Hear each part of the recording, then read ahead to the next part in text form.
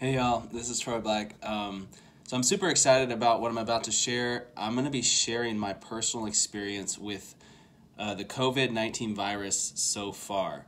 So, what I mean specifically is um, a few, I'm going to be telling a few stories of things that have happened since this whole virus thing started um, in my personal life, and, and, and, a, and they're going to be directly involved with um, that fear of getting the virus and um, the faith that comes when you choose to look at things from God's perspective. So, first story, here we go.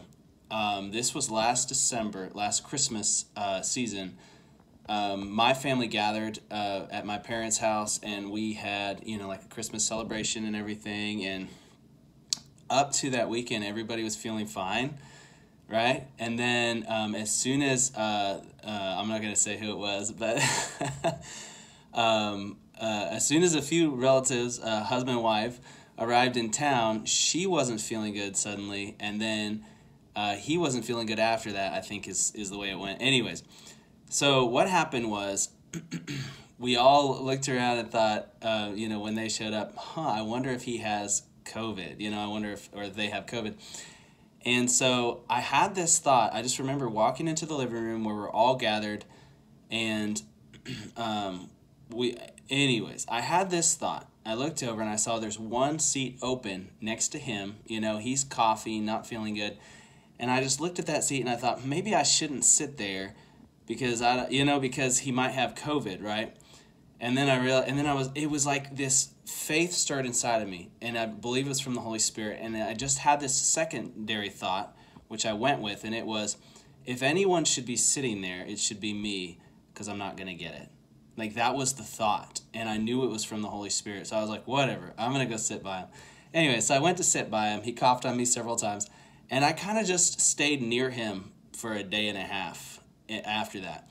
Anyway, so long story short, that next week they went and got tested and they both had covid um, and then um, some other family members got sick as well and anyways my faith was just high still at that point it was just like i had this thought you know how uh, shadrach meshach and abednego in the old testament they they told the king they were like we're not going to bow down right and they said because god is going to deliver us they had this high expectation of what god was going to do and then they said, but even if he doesn't, we're still not going to bow down, right? And that has been the perspective God has has been pushing me towards this entire COVID season. It has been a perspective of I'm not going to get it. It's not going to affect me at all. But even if I did, God's going to heal me anyways. It it's been this perspective of I have nothing to be afraid of because no matter what I, I'm asking God to do, no matter if that happens or if it doesn't happen, God is still good and he's still going to come through. That's that's been the perspective God has been pulling me towards, and I'm believing it's the perspective he's pulling the body of Christ towards as well. So, uh, my wife actually went and got tested that week, and she was negative after we spent time with them. And me, my wife, and our three kids at that point, we have four now. Our three kids, none of us, um, none of us got it. We were all fine, and I believe that was the Lord's hand. Then, um, let me. Uh, oh, so I also have a prophetic word the Lord gave me that has to do with the COVID season as well. So I'm going to share that in a minute. Um, I have another story. so here's the next one. Um, uh, about a month back, my wife actually did end up getting COVID, um, and she got te- tested, and the it was one of those home tests, so it wasn't like you know super clear if it was, but um, I think it was positive. It seems like from the symptoms and everything. Anyways, so she was at first she started self quarantining in her room, you know, didn't want to be around me and the kids.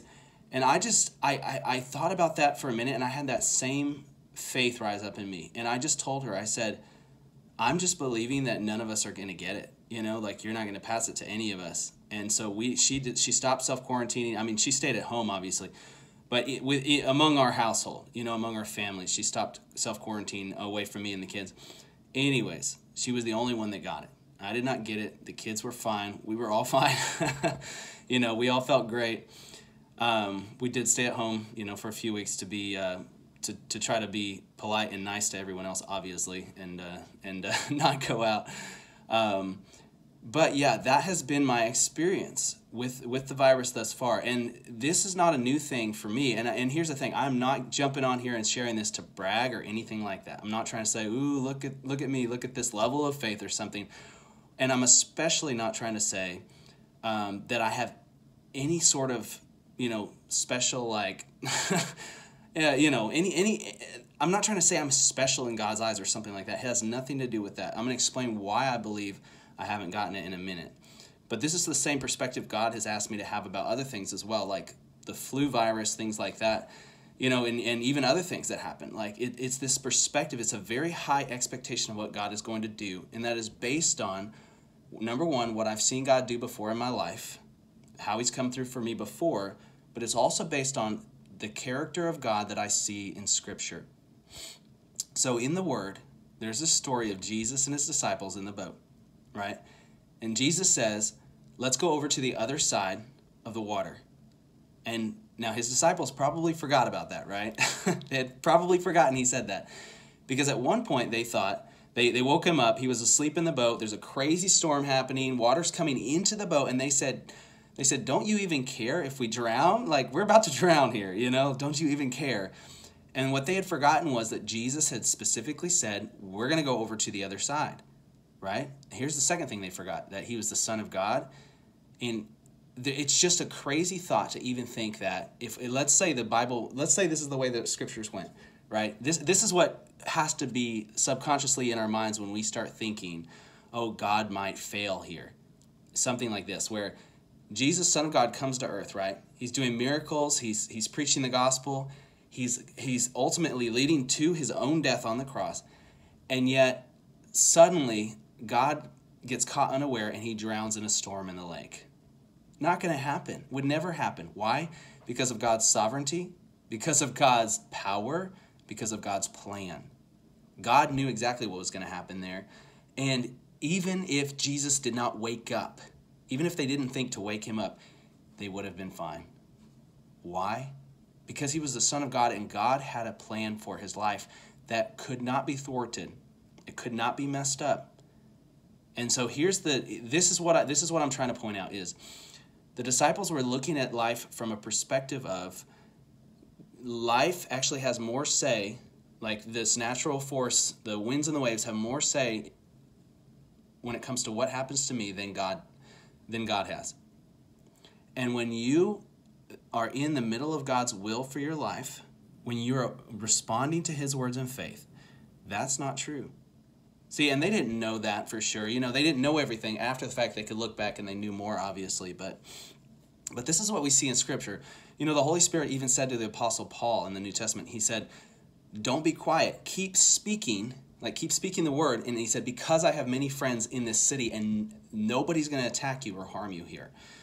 See, the Holy Spirit was giving him this reassurance. It was that the same like faith boost I was talking about earlier. He's giving him this boost of faith in that moment and saying, hey, normally somebody might have to be afraid of speaking out here, but you, you don't have to fear. You don't have to be afraid. I'm, I've given you this courage. I've given you this faith for this season. And you know the word the word says that faith comes from hearing and hearing by the word of Christ. And that word um, uh, word there is not just the original language is is actually the rhema word. It's not just the logos word, the the written word. It's not just talking about the Bible. It's talking about the revelation knowledge from the Holy Spirit. And yes, that can come straight from the written word. The Logos word can be turned into the Rhema word while we're reading it by the Holy Spirit. He can make something jump off the page and, and make it like imprint itself on our heart in that moment where we go, wow, this is true, and I'm going to stand on it and I'm not going to let go of it, you know? But God can also speak Rhema word to us in the moment, you know, the same way He spoke to Paul. When, when Paul went into that city, there was no written word that was going to speak directly to his situation. So the Holy Spirit said, Hey, don't stop speaking here. This is what I'm telling you to do. And Paul, after that, he probably had a lot higher faith to keep doing what God had asked him to do. But I want to point out that this other side of it, it's, it's the will of God's side. You know, I think sometimes, here, here's, the, uh, um, here's the question that maybe some people are asking. And this is where I don't want to be insensitive because I cannot see someone's heart. I don't know. You know, I don't know what's going on behind the scenes. I don't know what's going on in people's hearts. Only God can see people's hearts. So I do not want to say this in an insensitive way. But I think some people may be asking the question, okay, that's great for you, but what about um, what about the believers who it seems like God has not come through for them? You know, it seems like they were standing on the same beliefs, the, the Word of God, and yet maybe they have uh, passed away from COVID. You know, maybe something, or it could be a different situation. You know, like what about that? Like, there's the question. And and so in my response, I, I really am trying to be as sensitive as I can, but um, just to be to be truthful about it. Sometimes, um, well, I'm going to give two perspectives. Number one is um, when it came to the it came down to the will of God in Jesus' life. The will of God eventually did lead him to death on the cross. So there is an expiration date for every person. Now, we don't have to be afraid of our time getting cut short if we're in God's will. We don't have to fear that at all. But but eventually, you know, our mortal bodies do die. The other side of the coin is just because somebody says that they are standing on truth doesn't always mean that they really are, and it doesn't mean that they are in that moment. So I'm saying that with a lot of grace. I'm not passing judgment on people you know, just because something happens to someone, that is not that's not a, necessarily a sign that their heart was in the wrong place at all. It's not. Um, but I but I'm I'm the only reason I'm sharing that that side of it is because um, my hope is that me as well as you will look at our own hearts, stop judging other people and trying to see what's in their heart, and instead look at our own hearts and see what is the motivation for what I believe, for what I do? Is it fear based or is it faith based? Do I expect God to do the same things in my life that He did all throughout Scripture? Or do I not? Do I expect Him to act differently in my life than He did for the people in the Old Testament, New Testament? You know, the Word says that God is the same yesterday, today, and forever. And Jesus even said, those who believe in Him, they would do the same works that He was doing. And then after that, he said um, that uh, when, when during the Great Commission, he said, you know, go into all the world. And he said, uh, those who follow me, and this is this is almost crazy language almost, but he, he said, they will even drink deadly poison and it shall not harm them. They will pick up snakes and, they, and it will not hurt them. You know, Jesus was not encouraging us to do those things. He wasn't saying, go do these crazy things. He was saying, if this happens to you, you don't have to be afraid. And Paul the Apostle is a perfect example of that. He was in the middle of, and look where he was. He was in the middle of God's will for his life. He was preaching the gospel, and he was actually a prisoner for the sake of the gospel. But he got bit by this snake that was supposed to kill him. It was a fatal bite, and all of the natives of the, the island there saw it happen, and they're like, whoa, this guy's about to die. God is judging him, right? And then he didn't die. Nothing happened at all. He was fine because God protected him supernaturally. And then after that, they were all like, "Oh, whoa, maybe this guy is like something special," you know. They they were shocked at what happened there, and it was it was pure and simple, the protection of God over his life. It was a, God stepped in supernaturally and protected him, and God wants to do the same thing for you and for me, and that doesn't mean everything's going to go exactly as we plan. It doesn't mean that you know nothing bad's ever going to happen. But it does mean that we can put our expectation and our hope in God's supernatural deliverance, the same way Shadrach, Meshach, and Abednego did. And it always should come with an, a desire to walk in wisdom as well. You know, I think one problem that happens is we see somebody step out in faith, or we see faith in Scripture being applied, right? And we see God step in and do something miraculous. And then, you know, kind of like uh, Jehoshaphat, where God's like, y'all just go out there. You're not even going to have to fight. Just go out there, put the instruments in the front. They're, they're, uh, they're having to fight these two giant armies, right, that they could not beat. And he's like, y'all just praise the Lord, and I'm going to fight for you. They start praising the Lord. And then God sends this uh, uh, uh, a disruption in the camp, and all the enemies are dead by the time they get there. They get there and they're like, whoa, praise actually worked pretty good, way better than we thought, you know? Um, but we see stories like that and we go, you know what? I'm, I'm just going to praise the Lord and that's going to fix my problem.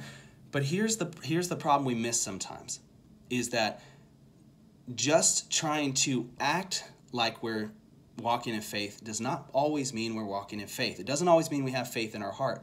Remember what I said about faith comes from hearing and hearing by the word of God. That kind of faith is we can have a general faith based on the logos word, you know, that okay, God's character is good. God is good. God has a plan, you know. Jesus died on the cross. Uh, all these things. We can have this general faith, but a specific faith for a season like this comes from hearing a specific word from the Holy Spirit. And that sometimes takes time to, to waiting to wait upon the Lord, to learn what his voice sounds like, to draw close to him. Thank you, Holy Spirit. I'm going to go ahead and share this prophetic word. Um, this is what I heard from the Lord. Um, and this is actually regarding this COVID season. Okay, this is this is was the context. I heard him say, "Worship me in spirit and in truth, and I will demonstrate to you the difference between the powers of this world and my power, the power of the cross." And then he said, "Satan has power, but he's very limited. My power is unlimited. It's full of glory, and you will see it when you seek me in faith." and then he and then he actually changed direction a little bit um, and this was more of i think this has more to do with the division that's been caused by this season. And he said pursue peace with your brothers. Pursue righteousness by faith. And then he and then he said pursue my presence with every part of you. Thank you holy spirit. So the last uh, I have a verse to read, but the last thing I wanted to share regarding that was the wisdom involved. So just because you go, you know, for instance, here we go. Here's an example. There are people that that that believe that heard that you know that have read that verse. You'll pick up snakes and they won't hurt you. You'll drink deadly poison they won't harm you. There are people that believe that means we need to go do those things to prove how much faith we have. But that's not faith, and the reason it's not faith is because they're misapplying the word of God and they're misapplying it because they have not received a personal revelation of what it means from the Holy Spirit. So that's so that's my encouragement to you is don't just go do something because you're wanting to have more faith. Sometimes you have to wait until the Holy Spirit increases your faith, speaks a right now word to you, and then you have something to stand on.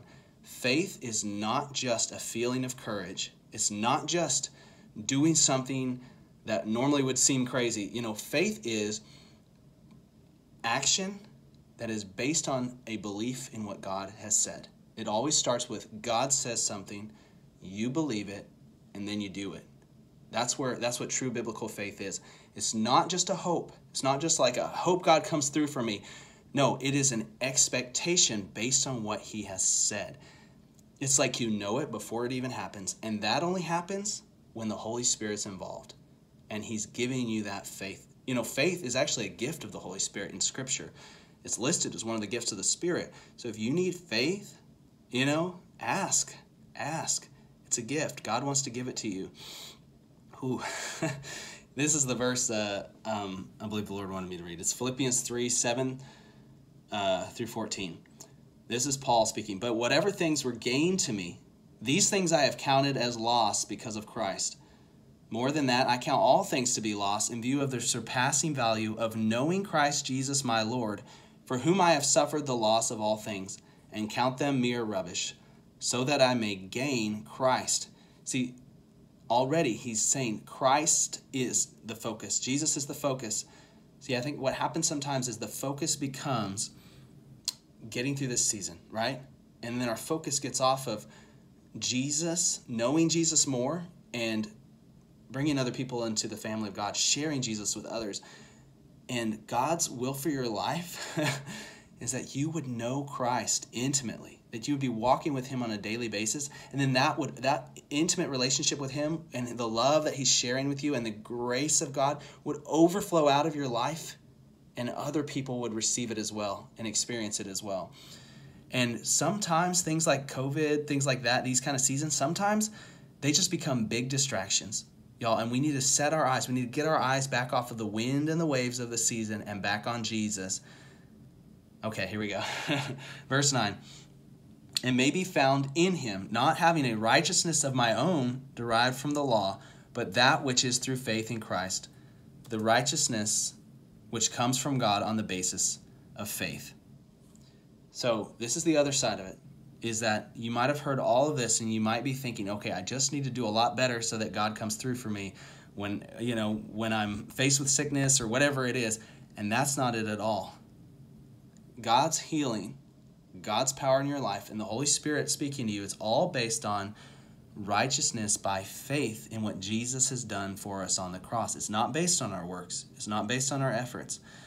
So anytime anytime I start thinking, God, you need to heal me, and I you know, and I'm believing you're going to heal me because I've been doing all these things, maybe because I've been preaching the gospel on YouTube, you know, or whatever, or I've been doing this over here, I've been serving this person, you know, then I have to step back and I have to repent and I have to realize, nope, that's not why God wants to heal me. And that's not why he's going to heal me. You know, that's not why he's going to protect me. It's because I have the righteousness of God by grace and through faith. It's because of what Jesus did for me on the cross. On my best day, I'm not righteous.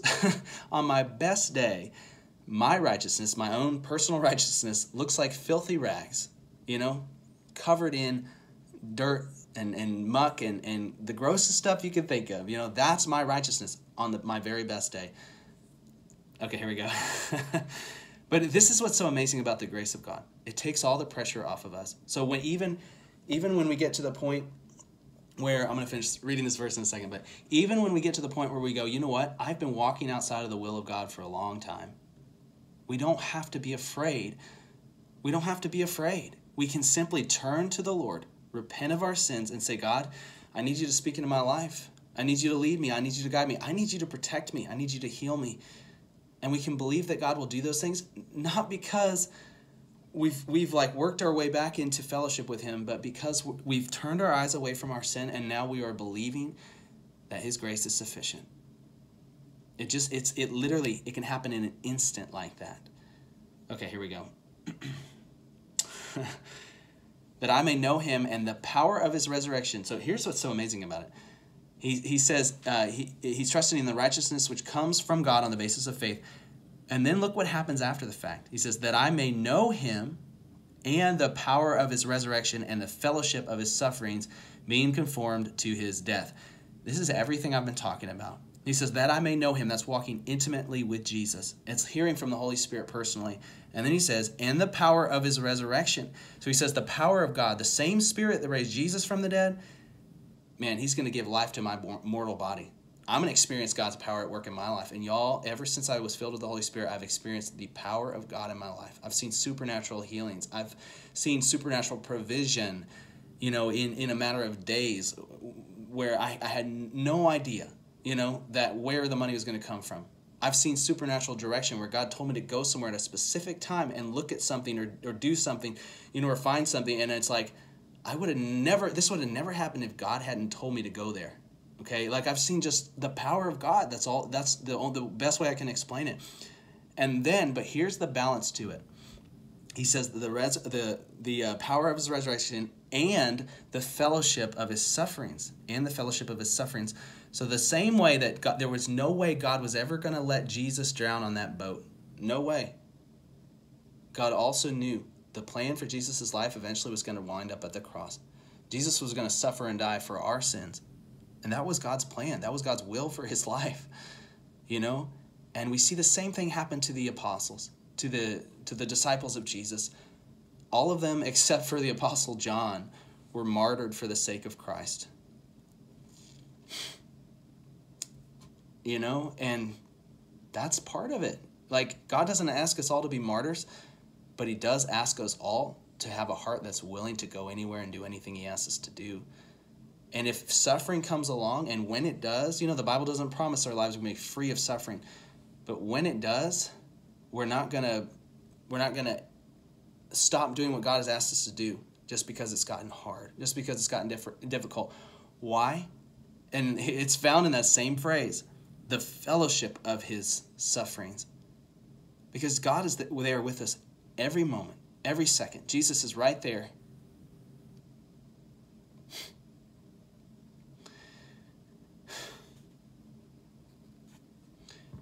And I mean, I can think of the hardest days of my life I've ever walked through, you know, the hardest things I've ever lived through. And my life has not been that hard compared to a lot of people's. But the hardest things I've ever gone through, Jesus, I, I found Jesus right there in the midst of it in a very personal way, a very real way. And especially in the things that God asked me to do that were very hard. You know, He showed up, His presence showed up, His, his life showed up in the midst of it. And I had to say, Jesus, I don't want to walk through this, but if you're going to be here with me, then it's worth it. It's worth it, and I'm going to keep going. And this is what Paul says next. I'm going to skip to verse 12. Not that I have uh, already grasped it or all, at all. or, or, no, sorry, not that I have already grasped it all or have already become perfect, but I press on, if I may also take hold of that for which I have even take hold of, for which I was even take hold of by Christ Jesus. So Paul is saying he hasn't arrived. He hasn't gotten everything perfect. He hasn't done everything right. And this is where God's grace steps in. You know, what the things I believe about healing and God's protection, it's not based on you or me do, living a perfect life. It's not. It's based on us trusting in the gospel. It's based on us believing in the grace of God. You know, and yeah, when there's continual sin in our lives, I believe that does open a door to things like sickness. You know, it does open a door. Why? Because we're putting up our hand. In that moment, we're saying, essentially saying, God, I don't need your grace. I've got this covered. I'm going to live my, my life my way. But as soon as we take our hand down and we say, you know what? I can't do this, God. I, I've messed it up. I need your help. The Holy Spirit, and, and as long as we're willing to listen to Him, we have a humble heart. The Holy Spirit begins to speak to us and He begins to point those things out and He says, Hey, you're dealing with this over here, and this needs to go. And He will even give you.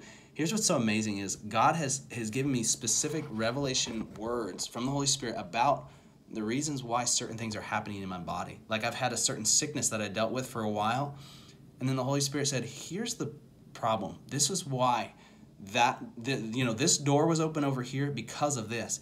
It wasn't in a mean way. It wasn't in a judgmental way. It was in a loving way. It was in a gentle way. The Holy Spirit's so gentle, and He pulls us back over to where God wants us to be. And even in the midst of that, He still has grace for us, and He still protects us. Okay. anyway, so this is a. Uh, uh, this has been real long, but I'm going to say this last part. I wrote this down, and I just felt like this was it, it was a good summary. Um, instead of looking forward in fear to what we may lose, we need to choose as believers to lose it all now. And that's what Paul was talking about. I've, I've counted all things to be loss in view of the surpassing value of knowing Christ Jesus. We need to choose to lose it all now. You know, Jesus said, if you save your life, you're going to lose it. But if you lose your life for my sake, you'll find it. When we choose to lose it all now, we don't throw things away necessarily. You know, you're not, like I said, you're not drinking deadly poison on purpose or something like that. You're making a heart decision. You're saying, God, putting everything out that you have, and you say, God, it's all yours now. It's not mine.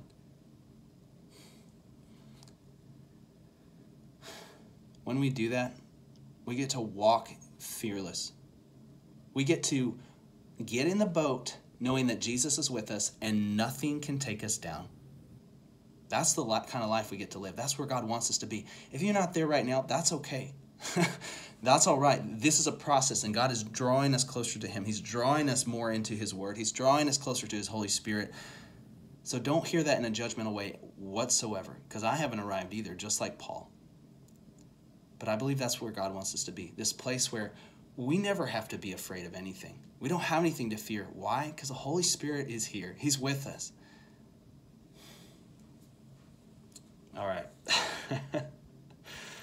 That's all I'm going to share with y'all. I know this has been super long. I hope it's been helpful. I love y'all so much, and I will see you next time.